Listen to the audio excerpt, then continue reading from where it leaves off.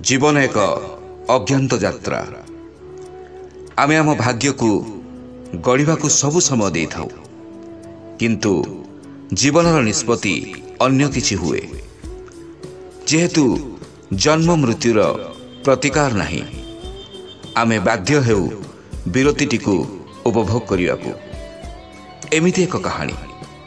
ଉଣେଇଶହ ସତୁରି ମସିହା ବିକ୍ରମପୁରର ଧୂସର ପଥରର ଭୂଇଁ ଉପରେ ହଠାତ୍ କଅଁଳିଲା ଦୁବଟିଏ। ପତ୍ର ମେଲିଲା ବଡ଼ ହେଲା। ଆଉ ତାର ବାସ୍ନା ଚାରିଆଡ଼େ ମହକିଲା। ଆଉ ତାର ନାଁ ରଖାଗଲା ଫର୍ଟିଲାଇଜର କର୍ପୋରେସନ୍ ଅଫ୍ ଇଣ୍ଡିଆ। କାରଖାନା ଚିମିଣିରୁ ଧୂଆଁ ବାହାରିଲା। ସାଇରନ୍ ବାଜିଲା। ବାସ୍ ଏଇଠୁ ଆରମ୍ଭ ହେଲା କାହାଣୀ। କାରଖାନା ସହ ଜନ୍ମ ନେଲା ଏକ ନଗରୀ। ଏକ ସ୍ୱପ୍ନର ନଗରୀ ଯେଉଁ ନଗରୀ ଆଗରୁ କେବେ ବି କେଉଁଠି ଜନ୍ମ ନେଇନଥିଲା ମନ୍ଦିରରୁ ଶୁଭିଲା ଘଣ୍ଟାର ଠନ୍ ଠନ୍ ଶବ୍ଦ ମନୋରଞ୍ଜନ ପାଇଁ ହେଲା ବିନୋଦ କେନ୍ଦ୍ର ବକ୍ସି ଜଗବନ୍ଧୁ ପଡ଼ିଆରେ ଓଡ଼ିଶାର ସମସ୍ତ ଖେଳାଳି।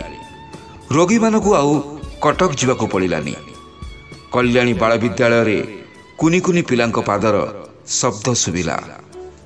ଆଉ ସେଇ କୁନି କୁନି ପାଦ ବଡ଼ ହେଲା ନଗରୀଟି ପାଲଟିଗଲା ଜୀବନ ଓ ଜୀବିକାର ଏକ ପେଣ୍ଠସ୍ଥଳ ବଜାରରେ ପରିବା ଦୋକାନୀ ମାଛବାଲା ମିଲ୍କ ବାର୍ ବମ୍ବେ ଷ୍ଟୋରର ଅପୂର୍ବ ପଟୁଆର ଆଉ ସନ୍ଧ୍ୟାରେ କଲୋନୀ ଭିତରେ ରାମୁ ଭାଇର ଅପୂର୍ବ ଚାଟ୍।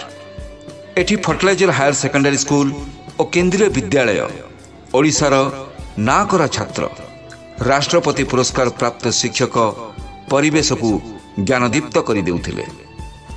ଏଫ୍ସିଆଇ ଓଡ଼ିଆ ସ୍କୁଲର ପ୍ରାର୍ଥନା ସାଧାରଣତନ୍ତ୍ର ଓ ଗଣତନ୍ତ୍ର ଦିବସର ପତାକା ଉତ୍ତୋଳନ ସୁନ୍ଦର କରିଦିଏ ସ୍କୁଲ ପରିବେଶକୁ। ବକ୍ସି ଜଗବନ୍ଧୁ ଷ୍ଟାଡିୟମର ଭଲି ପଡ଼ିଆରେ ଓଡ଼ିଶାର ସବୁ ଖେଳାଳି ବାସ୍କେଟ ପଡ଼ିଆରେ ବାସ୍କେଟର ଚମତ୍କାରିତା ଫୁଟବଲ ପଡ଼ିଆରେ ଫୁଟବଲ ସହିତ ଓଡ଼ିଶାର ନାମୀ ଖେଳାଳି ସରକାର ଦାଦାଙ୍କ ଚକା ଛୌକା ପାଣି ମଉସାଙ୍କ ସ୍ମାସ୍ ଏବେ ବି ମନେ ପଡ଼େ ଜୀବନ ହିଁ ଜୀବନ ଜାନୁଆରୀ ଛବିଶ ପନ୍ଦର ଅଗଷ୍ଟରେ ପ୍ୟାରେଡ୍ର ଅପୂର୍ବ ଦୃଶ୍ୟ କୌତୁକ ପ୍ରତିଯୋଗିତା ସମସ୍ତଙ୍କ ମନରେ ଆନନ୍ଦର ଜୁଆର ଭରିଦିଏ ବିକ୍ରମପୁର ଗେଷ୍ଟ ହାଉସ୍ରେ ସୁସ୍ୱାଦୁ ଖାଦ୍ୟ ନୂଆବର୍ଷର ମଧୁଆଲା ଅର୍କେଷ୍ଟ୍ରା ଜୀବନକୁ ରଙ୍ଗମୟ କରୁଥିଲା ଦିନେ କେବଳ ସେତିକି ନୁହେଁ ଉତ୍ସବଟିଏ ହେଲେ ଫୁଲେଇ ହେଇଯାଉଥିଲା ଏଫ୍ସିଆଇ ନଗରୀ। ଉତ୍କଳ ଦିବସରେ ଘୋଡ଼ା ନାଚ ଠାରୁ ଛଉ ନାଚ ସମ୍ବଲପୁରୀ ଠାରୁ ଯୋଡ଼ି ଶଙ୍ଖ ଆଉ ରାଜା ବେଶରେ ହରିବୋଲ ଭାଇନା। ଓଡ଼ିଶାର ବିଜ୍ଞ ବାଗ୍ମୀଙ୍କ ଅଦ୍ଭୁତ ଭାଷଣ। ଖୋକା ଭାଇଠାରୁ ଆରମ୍ଭ କରି ସିକନ୍ଦର ଆଲାମଙ୍କ ମନଛୁଆଁ ଗୀତ।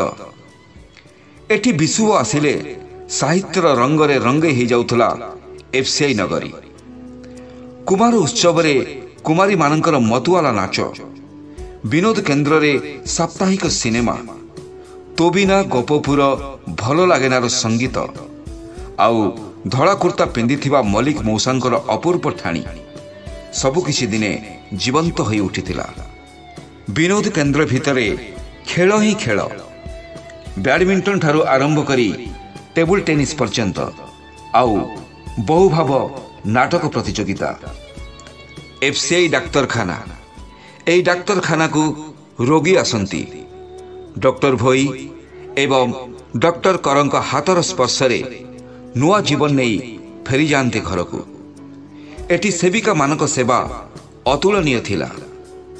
କଲୋନୀ ଭିତରୁ ହସ୍ପିଟାଲ ପର୍ଯ୍ୟନ୍ତ ରୋଗୀମାନଙ୍କ ପାଇଁ ତିନି ତିନୋଟି ଆମ୍ବୁଲାନ୍ସର ବ୍ୟବସ୍ଥା ଥିଲା।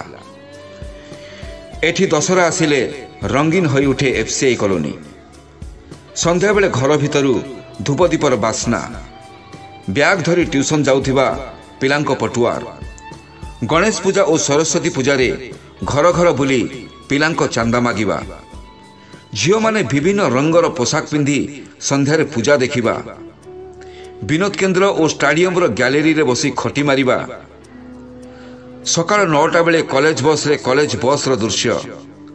ଆଉ ସବୁଦିନ ସକାଳ ସାଢ଼େ ଦଶଟାରେ ସ୍କୁଲ ଯିବାର ଦୃଶ୍ୟ ସବୁକିଛି ମନେ ପଡ଼ିଯାଏ। ବାସ୍ ହଠାତ୍ ଦିନେ ବଦଳିଗଲା ସବୁକିଛି ହଁ ଆଉ ନାହିଁର ଚୌହଦି ଭିତରେ ଚହଲିଗଲା କାରଖାନାର ଆତ୍ମା। ଆଉ ଶେଷ ନିଷ୍ପତ୍ତି କାରଖାନା ବନ୍ଦ। ନଗରୀ ଆଖିରେ ଲୁହ। ଟ୍ରକରେ ଆସବାବ ଧରି ଘରମୁହାଁ ହେଲେ କର୍ମଚାରୀ ଲିଭି ଲିଭି ଆସୁଥିଲା ଜୀବନ ଅଳ୍ପ କିଛି ସ୍ମୃତିକୁ ରଖିଦେଇ ନିରବି ଗଲା ନଗରୀ ସବୁଦିନ ପାଇଁ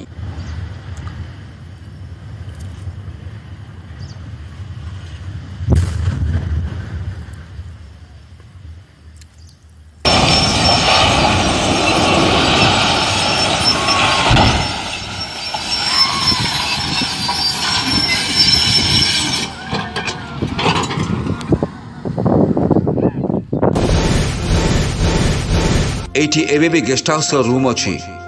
କିନ୍ତୁ ରହିବାକୁ ଲୋକ ନାହିଁ। ବିଦ୍ୟାଳୟର ଭଙ୍ଗା କୋଠରୀ ଅଛି ହେଲେ ସକାଳର ପ୍ରାର୍ଥନା ଗୀତ ନାହିଁ। କବାଟ ଝରକା ନଥିବା ଭଙ୍ଗା କଲୋନୀ ଅଛି କିନ୍ତୁ ଝରକା ଫାଙ୍କରୁ କାହାରି ମୁହଁ ଦିଶୁନି। ଅଛି କେବଳ ଭାଙ୍ଗି ଯାଇଥିବା ବିନୋଦ କେନ୍ଦ୍ର ମିଲ୍କ ବାର୍ ଆଉ ଆମ ଡାକ୍ତରଖାନା।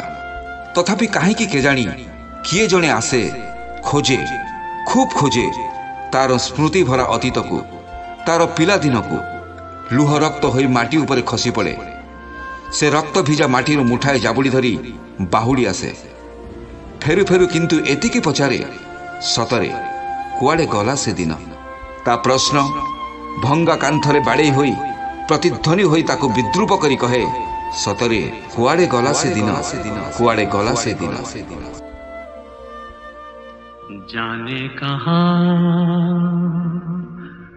गए वो दिन, कहते थे तेरी राह में, नज़रों को हम बिछाएँगे। जाने कहा। गए वो दिन, कहते थे तेरी नज़रों को हम बिछाएँगे। चाहे कहीं भी तुम रहो